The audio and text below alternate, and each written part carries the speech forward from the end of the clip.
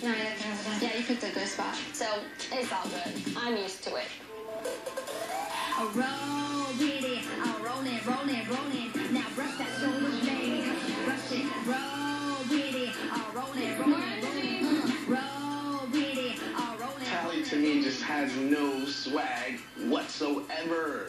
She looks like a good kid. She looks good. But as soon as people see her move, I know they're gonna be like, that's not hip hop. Good job. Thank you. I was feeling a little bit like, should I have added more? But at the end of the day, it's like, I did me.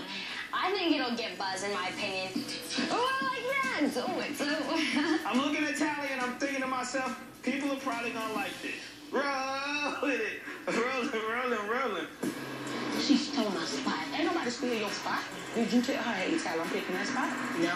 So you need to snap out of it and not this challenge. All right, come on, Roscoe.